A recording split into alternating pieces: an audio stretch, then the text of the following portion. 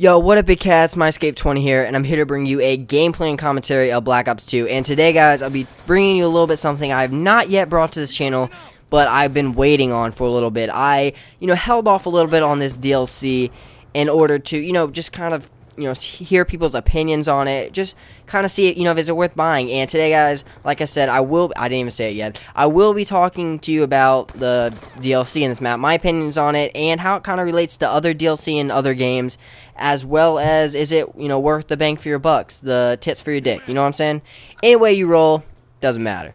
Now this dlc right here is called revolutions the only one that's coming out for call of duty black ops 2 and it is about what is $15 PSN and it is um, 1600 Microsoft points and which is the exact same amount for people like oh Microsoft gets it cheaper da, da, da. no Xbox gets it earlier that's the difference they get it earlier they don't get it cheaper which is kind of stupid I think maybe PSN can maybe compensate for that and you know drop the price a little bit maybe to like to 1250 I play on Xbox so it really doesn't matter anymore but you know just for those PS3 people out there but in my opinion, this map, you get four maps. Um, you get Grind, which I'm playing on. You get uh, Mirage. You get Downhill. And you get um, uh, Hydro. Which, Hydro is good. It's annoying as shit, though. Like, has anyone ever played... If, if the people that play it know what I'm talking about, you hear, like, that Asian guy constantly, like... Tong, tong, tong, tong, tong, tong. I'm like, God, shut up. Like, I understand you're warning us the water's coming. And they did the same on launch in the first Black Ops. But he does it for like a fucking minute. I'm like, dude, give me a 10 second heads up. That's all I need. Not even 10 seconds. Like maybe like a 5 second being like, tong tong da wada. You know, something like that. Like that's all I need. That's all I fucking need. I don't need 20 minutes of your Korean ass talking to me. Alright. And I'm not dissing Koreans out there. I'm just saying. This guy is annoying as shit. Um, but you know, th that's a good map. Um, I like this map grind. I don't get to play that much, but I really do like it. Uh, let's see, what else is it? Mirage, that's fun. Mirage is a fun map. Um, Domination, you actually want to hold A and C. You don't want to hold, like, a B flag in another one. You actually want to hold A and C. It's easier to, you know, um, control. It, they spawn on the outsides of maps, so it's actually better. And the final one, which is, what did I say? Downhill, I love that map. Um, you need dead silence, though, because it's so loud. The footsteps are so loud because it's in snow.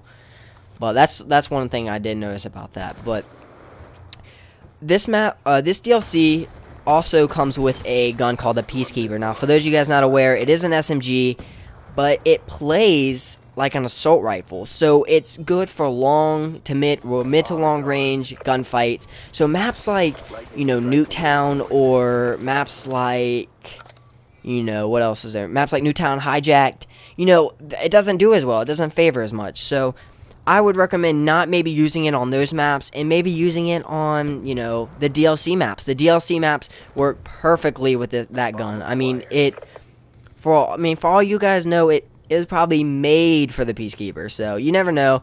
I really, you know, end up do end up doing very very well on the new maps with like assault rifle. So, if you trying to live up assault rifle struggling, play the new DLC. I'm telling you, you will get it's it's a lot better. All right? So, make sure you guys do that. Now, other games, you know, DLC is about, uh, what's it called? You know, about 10 bucks, which is a little bit, you know, a little bit less than this one, but, uh, oh well. Is it, is it for your bang for your buck? Let me know. 11 and 2, just a quick gameplay uh, for you guys. If you liked it, make sure you give a thumbs up and everything. And yeah, previous video was a level 50 golden chest key unlocked, which is basically where I saved all my keys up in Borderlands 2 um, to level 50 and then open the chest. There's about five in that one and a five coming in a later video. And featured is a quick scoping S&D. I thought it related to this one a little bit just because it's S&D. So if you enjoyed the video, make sure you go ahead and subscribe, you know, thumbs up, favorite, whatever. And follow me on Twitter for, like you see right there, open lobbies and more. So thanks for watching and uh, peace.